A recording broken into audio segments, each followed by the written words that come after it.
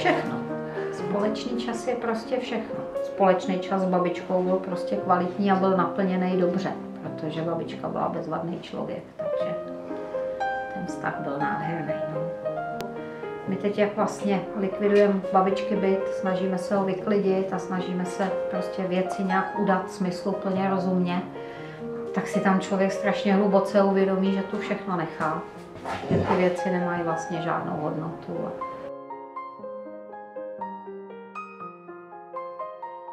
Hospic nám přinesl klid, protože pečovat jsme chtěli, o tom jsme neměli menší pochybnosti, že bychom chtěli dopečovat babičku, ale byly tam obavy.